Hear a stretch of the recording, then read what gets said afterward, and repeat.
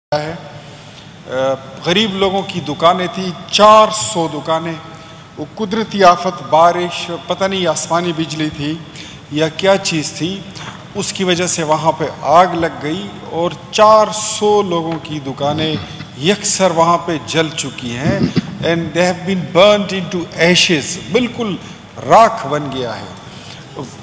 मैं अप्रिशिएट करता हूँ जो कंटोनमेंट बोर्ड के फायर ब्रिगेड थे फायर टेंडर्स थे they came very much in time वो आए और उन्होंने वो आग तो बुझा ली लेकिन उस आग के बुझने के बाद जो वहाँ पे पेट के दो सख भूखे बच गए हैं रात को मैं खुद वहाँ से कोई दो बजे वापस गया हूँ उन लोगों के पास रोने के लिए आंसू भी अब ख़त्म हो चुके हैं और आज मैं अभी यहाँ आपसे बात आपसे मुखातिब होने से पहले मैंने उनकी हालत पूछी है तो उसमें कोई बेचारा जो है वो अपना जहनी तोज़ुन खो बैठा है कोई जो है तो वो अपने बाल नोच रहा है लोग इतने परेशान हैं इतनी मुश्किल में हैं मैं दरख्वास्त करूँगा मोहतरम जितने हमारे भाई बैठे हुए हैं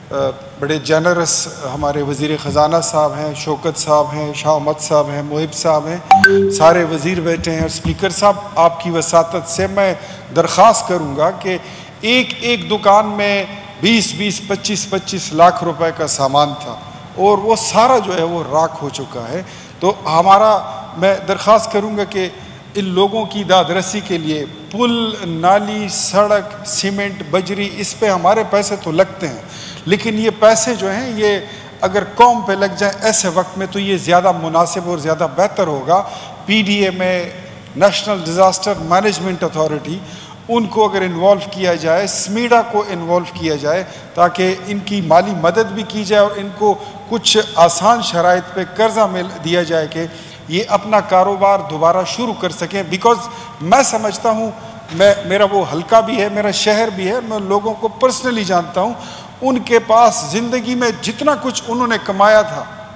जितनी उन्होंने मेहनत की थी वो मिल मिला के उन्होंने अपनी छोटी छोटी दुकान बना ली थी और वो सारी दुनिया उनकी उजड़ गई है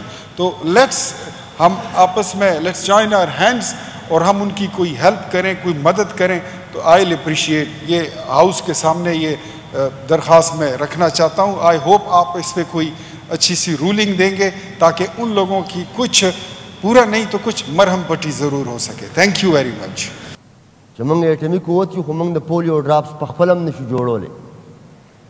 او جناب سپیکر جوړول ډېره لویه خبره ده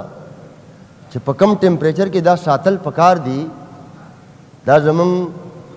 د ټولو لپاره سوالیه نشان دی چې هغه ټمپریچر هم موږ برابر نشو ساتلی جناب سپیکر بلکل ډاکټران هم دا خبره کوي ټیکنیکل سټاف هم دا خبره کوي چې یوه وجه دا هم ده جناب سپیکر اهمه وجه چې کومه ده جناب سپیکر هغه دا ده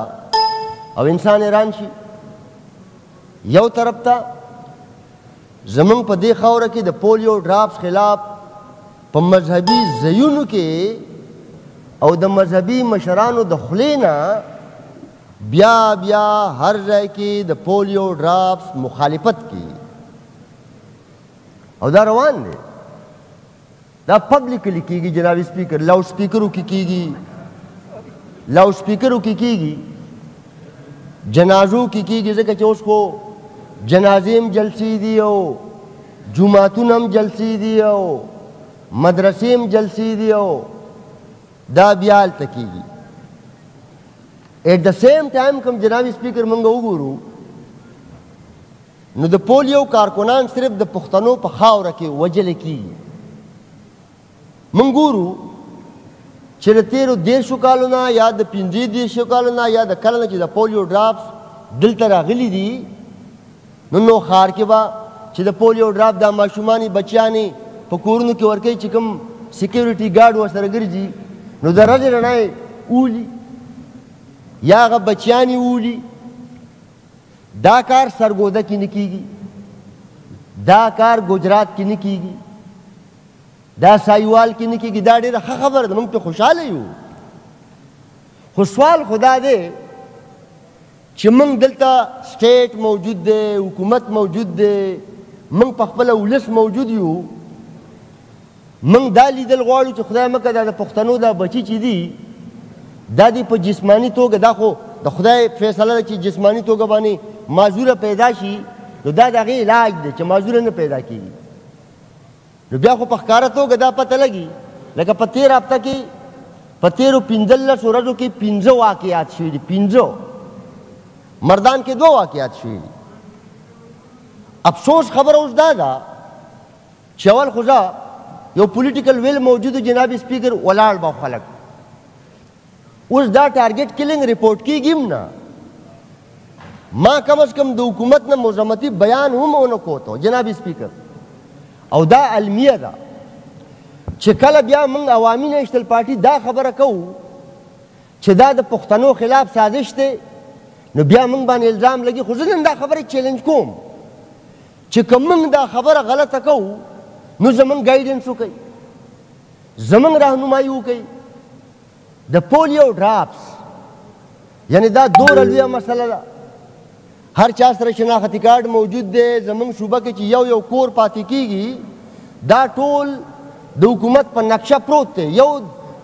یعنی یو محله داسې نشته چې هغه زمونږ د جوریسډکشن نه یا د حکومت د ریټ نه خدای مکه بهر ده جناب سپیکر دا جناب سپیکر دا ډیره سیریس خبره ده دا ډیره عجیبه خبره ده چې پر رستم کې به په غرمه کې بچیانې ګرځي کورونو کې به ډراپس ماشومانو له ورکوي او د رډې رڼا به په مین روډ باندې خلک راځي او دوه پولیس به وژني او بیا به هغوی وځي او بیا به یې ډوپته نه لګي دا سلسله د پنځو څلوېښتو کالو نه روانه ده جناب سپیکر خو بیا دی علمی ته وګوره چې دا ظلم روان دی خو چې کم پښتون خبره کوي بیا به ورته یا دمکای ملاویږي یا به ورته مثال ټارګټ کیږي به یا به ورته وایي چې بچي دله تختومه یا به ورپسې فایل راوباسي یا به عدالت کې سکنجه کوي جناب سپیکر یا به ول میډیا ټرایل کوي جناب سپیکر تاسو وګورئ جناب سپیکر نن چونکه دا مسله د پولیو د هم په دې شکل ولې موږ که عوامي نېشنل پارټي دلته د ولس سیاست کوي باید چې واضحه موقف لري چې دا سازش تر پښتنو نسل کشي روانه ده زه دا مطالبه او دا خواست او دا تمه د پي ټي آی نه هم کوم چې ووټ خو موږ د دې پښتنو نه غواړو، بیا به موږ د دې پښتنو نمایندګي کوو، دا غوښتنه به موږ د جمعیت نه هم کوو، دا به موږ د مسلم لیګ نه هم کوو، دا مسله په پښتنو کې د پښتنو په خاوره سیاسي جناب سپیکر په دې شکل نه ده. چه ګنې د چا سیاسي وابستګي به نن تاسو وګورئ زمونږ د مرکزي ورکنګ د کونسل مشر په بلوچستان کې اغوا شو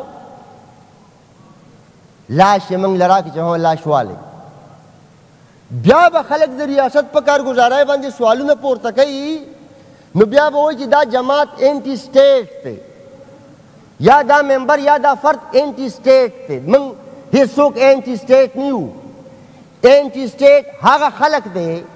هغه قبضه مافیا ده چه چا د ریاست پاکستان نه ډیپ سټیټ جوړ کړی دی ډیپ جنابی سپیکر دا کم ماحول دی په دې ماحول کې چې پښتانه بچي په جنگونو کې پیدا شو په جنگونو کې جناب سپیکر په جنگونو کې لوی شو او په جنگونو کې مړ شو خو پته موږ ته ونه لګېده چې په کوم ګناه باندې جناب سپیکر پښتنو سره دا عمل روان دی دا د ټولو پښتنو ذمہ داری د جناب سپیکر دا خبرې اوس سیاسي نه دي دا کامي دي کامي تاسو جناب سپیکر وګورئ دلته یعنی حال څه دی روزانه موږ پسې د باجوړو او د دې خیبر د دې کورمې او د دې وزیرستان خلک را روان دي وایي دا موږ ته ټیلیفونونه کېږي. په پنجاب کې که په یو پلازه کې یو پښتون وړه غونته کوکه د موبایلو ولې نه ده کلاو کړې، د هغې ځای نه ورته ټیلیفون کېږي چې ته بته راوړه جناب سپیکر. جناب سپیکر دا ایشو چې ده دا انټینشنلي یوز کېږي. زه به په دې هاوس کې د ټولو سیاسي جماعتونو نه دا خواست کوم چې زه دې میډیا ته مخامخ شم. مولانا صاحب دې مخامخ شي جماعت اسلامي دې مخامخ شي هر مشر دې مخامخ شي او دې ټول ولس ته دې ووایي چې دا د پولیو ډراپ چې دا خپلو بچو ته ورکول چې دا لازمي دي جناب سپیکر چې کم خلک زمونږ په خاوره د دې پولیو ډراپس مخالفت کوي موږ سره د انټیلیجنس ادارې شته جناب سپیکر زه به حکومت ته خواست کوم چې یو سیکنډ هغې کې نوره کوتاهي ونه شي دا د مذهب په نامه چې زما په خاوره کوم ګیم روان دی دا تباهي دی راوړه موږ د مذهب خلاف خو نه یو چې که زه مقتدي ممبر جوړېدی شم نو د جماعت په امام د ممبر په جوړېدو اعتراض نشته اعتراض په دې خبره دی چې دا د پیغمبر دا وراثت چې دی دا د جماعت دا ممبر او دا د مدرسې دا محتمم چې دی دغه دغه ځای دی د سیاسي، ذاتي، حکومتي اختیار حاصلولو لپاره نه استعمالوي. اعتراض په دغه خبره دی جناب سپیکر. جناب سپیکر! چونکه دې مسئلې سره زموږ صوبه مخ ده. دې مسئلې سره پنجاب نه دی مخ. دې مسئلې سره سند نه دی مخ. بابر او د صاحب جمعې ورځ ده جی ممبران نور هم خبرې به کوي جی. دا څلوېښت کاله وشو یا پنځه څلوېښت پنځه کم څلوېښت کاله جناب سپیکر وشو زه به ستاسو نه هم دا ګزارش کوم چې د دې سپیسیفیک مسلې لپاره هم موږ د ټولو سیاسي جماعتونو یوه جرګه جوړه کړو جرګه موږ حکومت ته کوم سفارشات کولی شو حکومت سره موږ په دې مسله کې کومه مرسته کولی شو زمونږ مرسته به حکومت سره په دې مسله کې بالکل پړاګی او موږ دا یو کمیټي جوړه شي چې په دې باندې سنجیده جناب سپیکر کار روان شي روان شي